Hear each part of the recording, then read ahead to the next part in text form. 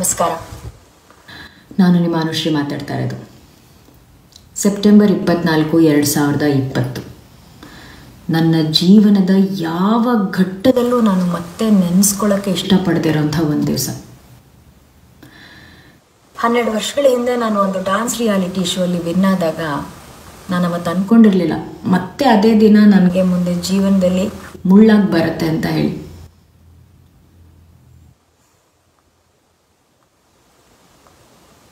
ಈ ವಿಡಿಯೋನ ನಾನು ನನ್ನನ್ನು ನಾನು ಸಮರ್ಥಿಸ್ಕೊಳ್ಳೋದಕ್ಕೋಸ್ಕರನೋ ಅಥವಾ ಕರುಣೆಗೋಸ್ಕರನೋ ಮಾಡ್ತಾ ಇಲ್ಲ. ಎಲ್ಲರೂ ತಮ್ಮ ತಮ್ಮ ಅಭಿಪ್ರಾಯಗಳನ್ನು ಸುತ್ತಮುತ್ತ ಹೇಳ್ತಾ ಇದ್ದಾರೆ. ಈ ಅಭಿಪ್ರಾಯ ನನ್ನ ಬಗ್ಗೆನೇ ಮಾತಾಡ್ತಾ ಇರೋದ್ರಿಂದ ನನ್ನ ಬಗ್ಗೆ ಇರೋದ್ರಿಂದ ಈ ವಿಡಿಯೋವನ್ನು ಮಾಡ್ತಾ ಇರೋದು. ನೋಟಿಸ್ ಬಂದಿದ್ದು ನನಗೆ ಬೇಜಾರಾಗಿಲ್ಲ. ಸಿ ಸಿ ಬಿ ಕಚೇರಿಗೆ ಹೋದ ಮಾತ್ರಕ್ಕೆ ನಾನು ಅಪರಾಧಿ ಅಥವಾ ಆರೋಪಿ ಅಂತ ಆಗೋದಿಲ್ಲ.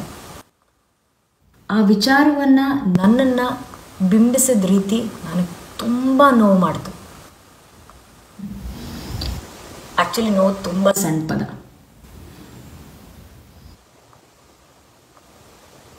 ಕಳೆದ ಒಂದು ವಾರದಿಂದ ನಮ್ಮ ಮನೆಯವರ ನೆಮ್ಮದಿಯನ್ನು ಹಾಳು ಮಾಡ್ತು. ಆದರೂ ಕೂಡ ಈ ಕಷ್ಟ ಕಾಲದಲ್ಲಿ ಏನೂ ಹೇಳಿದೆ. ಏನೂ ಕೇಳಿದೆ.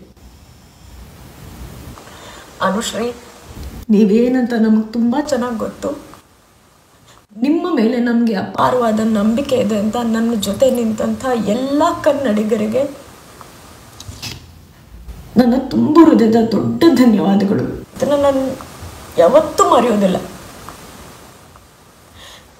Thank you.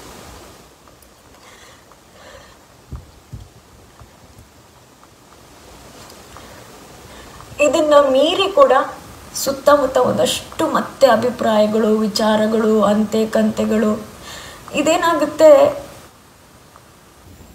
ನಮ್ ನಮ್ಮ ನಮ್ಮೊಂದು ನೆಮ್ಮದಿನ ತುಂಬಾ ಹಾಳು ಮಾಡಿಬಿಡುತ್ತೆ ಅದು. ಪ್ಲೀಸ್. ಒಂದ್ಸಲಿ ಈ ರೀತಿಯ ವಿಷಯಗಳನ್ನ ಸೆನ್ಸ್ ಈ ರೀತಿಯ ವಿಷಯಗಳನ್ನ ನೀವು ಸೆನ್ಷಲೈಸ್ ಮಾಡಬೇಕಾದ್ರೆ ಒಂದ್ಸಲಿ ನಮ್ಮ ಮನಸ್ಥಿತಿ ಬಗ್ಗೆ ಪ್ಲೀಸ್ ಯೋಚನೆ ಮಾಡಿ.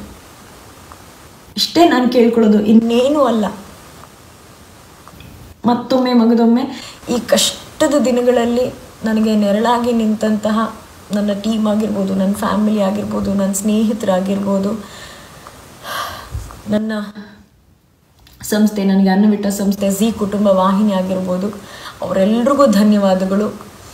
ಈ ಒಂದು ಸಿಚುವೇಶನ್ನ ಅರ್ಥ ಮಾಡಿಕೊಂಡು ನನ್ನನ್ನು ಸಪೋರ್ಟ್ ಮಾಡ್ತಾ ಇರುವಂಥ ಎಲ್ಲ ಮಾಧ್ಯಮದವರಿಗೆ ಧನ್ಯವಾದಗಳು. Thank you so much and ಮತ್ತೊಮ್ಮೆ ನಾನು ಕಡೆಯದಾಗ ಒಂದು ವಿಷಯ ಹೇಳೋಕ್ಕೆ ಇಷ್ಟಪಡ್ತೀನಿ. ಈ ಹೆಸರು ಕನ್ನಡಿಗರು ನೀವು ಕೊಟ್ಟಿದ್ದು. ಇದಕ್ಕೆ ಧಕ್ಕೆ ಬರುವಂಥ ಯಾವ ಕೆಲಸವನ್ನು ನಾನು ಮಾಡಿಲ್ಲ. ನಾನು ಮುಂದಕ್ಕೆ ಮಾಡೋದು ಇಲ್ಲ. Thank you so much